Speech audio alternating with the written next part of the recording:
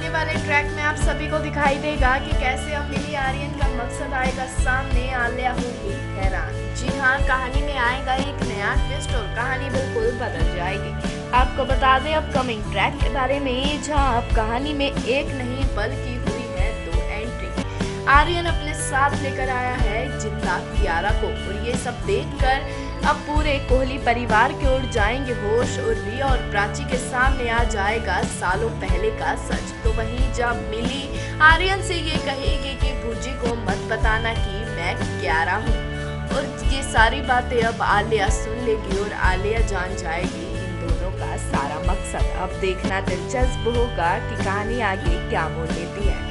क्या होगा? बाकी शो की कहानी में हम आपको जल्दी बताएँगे अपनी नेक्स्ट अपडेट में। तो तब तक करें इंतज़ार और बने रहिए हमारे साथ। और आज ही हमारे चैनल को सब्सक्राइब करें